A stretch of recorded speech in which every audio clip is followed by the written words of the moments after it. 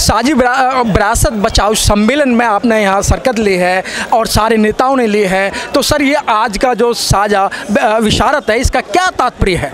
देखिए जो विरासत है, खास करके जो एनडीए पार्टी में नहीं है यानी रूलिंग पार्टी को छोड़ के, बाकी सारे पॉलिटिकल पार्टी, माननीय शरद यादव जी के नेतृत्व में या उनके इनविटेशन में यहाँ पे शिरकत किया है। और खास करके 2013 के बाद उन्होंने एनडीए का कन्वेनर पद से इस्तीफा दे दिया था। और आज वो इधर कॉन्स्टिट्यूशन क्लब में मीटिंग बुलाई देश के कोने कोने से लोग आए, जो लीडर्स आए, सताए गए लोग आए। और खास करके आप देखेंगे बाबा साहब का वो फ़ोटो भी था वहाँ पे। प्लस प्रेम्बल को लिखा गया था।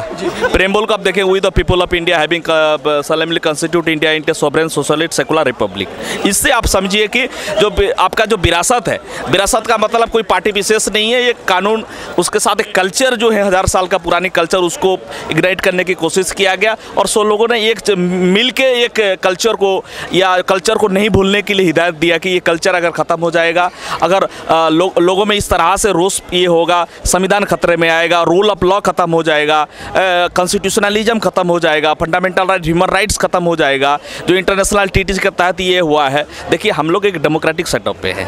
ठीक है? The essence of democracy is representation हर जगह पे आप देख लीजिए कि आपका ऑटोक्रेसी ऑटोक्रेटिव तरीके से डेमोक्रेसी अलग चीज़ है। डेमोक्रेटिक पैटर्न ऑफ़ गवर्नमेंट अलग चीज़ है और आपका ऑटोक्रेसी अलग चीज़ है, जो टेरानिकल गवर्नमेंट अभी चल रहा है। आप देखेंगे 1939 से पहले जब सेकेंड वर्ल्ड वॉर हुआ था और जिस तरह से एक तनासा हिटलर का राज आया था, उस तरह से धीरे धीरे करके उसने मीडिया को पहले कैप्चर कर दिया। झूठ बोलना चालू कर दिया। झूठ बोलना, मीडिया को अल्लाह और भक्त संख्या बढ़ाना अपना। यानी कुछ भी कहे, उसको भक्त लिपापुती करेंगे। मैं खास करके जो रामलीला मैदान में जो आपके लाल किला में जो भाषण दिए प्रधानमंत्री जी का कहना है कि 91 लाख करोड़ लोगों ने ये कर दिया है, इनकम टैक्स रिटर्न कर दिया नोटबंदी के बाद। अभी अरुण जेटली कह रहे हैं कि उनका अलग है, सुब्रमण्यम स्वामी जी का अलग है आरबीआई का गवर्नर कहना अलग है। तो इतना झूठ क्यों फैला रहे हो आप? इतना झूठ क्यों फैला रहे हो कि आपको ये कर रहा है, वो डर रहा है? देखो, अभी जो कल्चर को बचाने वाली बात है, अगर कल्चर ही नहीं बचेगा, संस्कृति नहीं बचेगी, लोग नहीं बनेंगे, आपको एक लोगों ने वोट नहीं दिया था, सब लोगों ने वोट दिया था। लेकिन आज ऐसे एक माहौल बन गया है, ऐसे एक माहौल बन गया, आप देख लीजिए 2013 तेरह में 2014 इस सर- सरकार आने के पहले एक भ्रष्टाचार का मुद्दा आया। भ्रष्टाचार का मुद्दा पे आके धीरे धीरे धीरे धीरे करके लोग भी ये करके केजरीवाल जन्म ले लिया।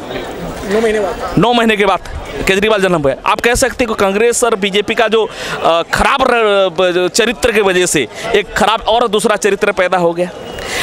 आज 2019 आने वाली है। मैं नहीं कह रहा हूँ कांग्रेस अच्छी है, बीजेपी अच्छी है, मगर बात है कि हमने कांग्रेस वजह सत्ता बहुत बार हम परिवर्तन करके देख लिया है। मगर आप बहुत सारे जो मूल मुद्दे हैं भारत को कॉन्स्टिट्यूशन लागू नहीं हुआ कल्चर लागू, आपका जो कल्चर खत्म होते जा रहा है। रिजर्वेशन जो 80 जो 100 परसेंट लोगों ने पचासी परसेंट का मांग है रिप्रेजेंटेशन की बात जब कह रहा था। डेमोक्रेसी में एसेंस होता है डेमोक्रेसी में रिप्रेजेंटेशन रिप्रेजेंटेशन खतरे में, आरक्षण खत्म है, हर जगह पे खत्म किया जाए प्राइवेटेशन लागू किया जा रहा है। आप आप देख लीजिए, ये दिल्ली यूनिवर्सिटी में देख लीजिए कट ऑफ़ शेड्यूल कास्ट का सबसे ज़्यादा जा रहा है। मुस्लिम माइनॉरिटीज़ का देख लीजिए उसके वजह से उसका एम्प्लॉयमेंट कहीं पे नहीं हो रहा है।